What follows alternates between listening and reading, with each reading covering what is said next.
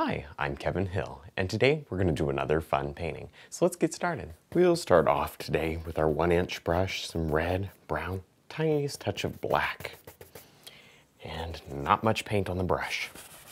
Right down here, we can just begin dropping in a little bit of this color.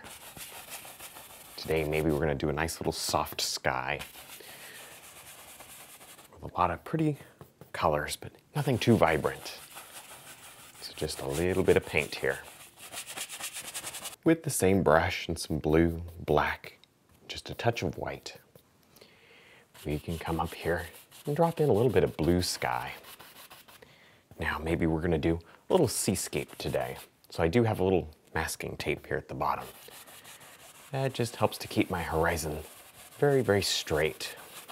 Much, much easier than trying to just kind of figure it out with the brush when we get there.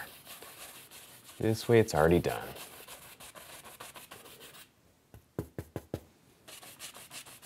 Now, maybe we want to begin working on a nice big cloud up here. So I just have the corner of the one inch brush here. I'm just swirling in a little, little bit of a darker color but just slightly. There, leave these nice little light and dark areas in there showing. Don't cover them all up. And create this nice little cloud shape. This is just the dark part. We will come back in just a second and add some highlights to it. Now with the filbert brush, we can begin to shape on just a little bit of highlight. There. You see, we're just creating nice little shapes in this cloud. And it's very important here to try to leave, leave little dark areas. Do a highlight, skip down, and then do another. Don't just fill the whole thing in solid. That wouldn't look as good. Although, we do want to cover up a lot of this dark. This cloud is pretty, pretty bright today. Now we can go ahead and peel off this little masking tape here. And again, we have a nice straight horizon line. So then we can take a one inch brush, some black, some blue, mostly blue, maybe a touch of red. Oh, that'll be nice.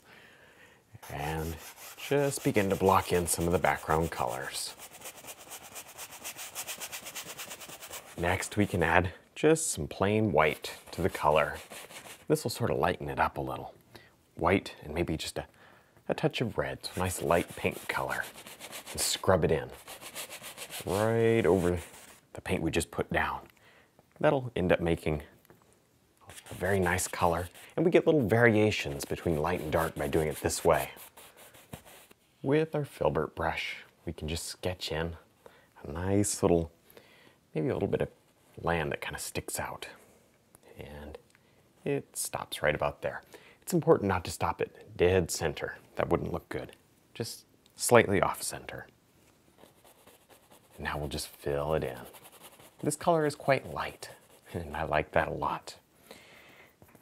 Really, it almost looks like you can just see, you can see the mist and some fog in between here and this background mountain. So just rub it in, varying the colors a little so that you get a lot of nice little different things happening. Now with our filbert brush and a little bit of green, we can come right in here and begin to scrub in a nice little background wave. Not too much, not too much of this color, just a little. You don't want to go overboard. And you can kind of change, change the color a little as you go. Add some more blues or some white or something, just to kind of make it more interesting.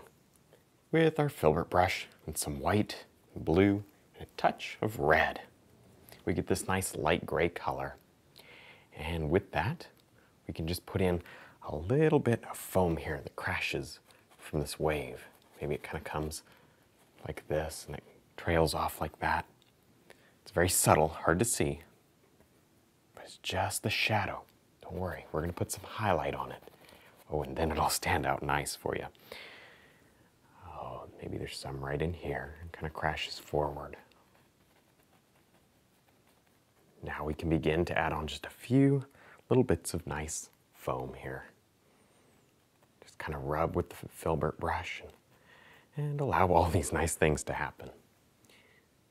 Just like this.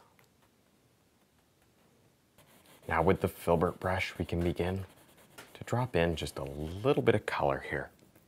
In fact, as you can see, I've got a little sketch there. I just took some white paint and just, just a quick outline because I wanted to get this wave just a certain way. Sort of like the way I like to sketch out the mountains sometimes. Just, it helps me know where I'm going. It kind of, kind of gives you a guide so you can see what I'm seeing. Now with our fan brush and just a little bit of blue and white, we can go ahead and drop in some nice little shadow foam areas. You could do this with a filbert brush. I just kind of like the idea of using the, the corner of the fan. Kind of gets in there nice. Makes a lot of little detailed effects pretty easily. Maybe there's going to be, we'll have a rock somewhere in there. And because we've already decided that, we can put the foam in around it. Now with some black on the filbert brush, we can go ahead and drop in a few nice little rocks here. And maybe today, we have quite a few little rocks here in the foreground. It'll give us something for the waves to splash against and create a lot of nice effects. And maybe some over here too, right in front of that splash. With the filbert brush and some brown, we can begin to just drop in a little bit of sand down here. Not too much, just enough to kind of give it a nice little look. Just like there's a little extra detail, little sandy beach kind of showing through here. And you don't have to go overboard, although I did little, leave a little blank area open for it. I thought we would want to do this. There. And then you can grab, just grab a, a filbert brush and go through some of the, the other colors we had laying around on the palette, mostly white and a little touch of red. White and red. You can kind of clean up the edge. Now with the knife and a little bit of brown and white, we can go ahead and just drop on the tiniest indication of highlight here. Now we don't want a lot of paint. That would kind of almost ruin this little soft effect. I hope you see that's just very soft in there. Very quiet and gentle. And that's the way I, I want to keep it that way. That's pretty neat. Now, if you'd rather do a, a seascape that has a little more vibrant colors or a little harder, a little more texture, that's fine. That works just as well. Just want to show you something different today. Now with our script liner and a little bit of black and paint thinner, we can just add in a few nice little details down here. See, I'm just putting a shadow under these little foam lines here. It kind of sets them up and makes them look three-dimensional. There. You can do little details in the water as well. All right, well, I think we're done. I had a lot of fun. I hope you did too.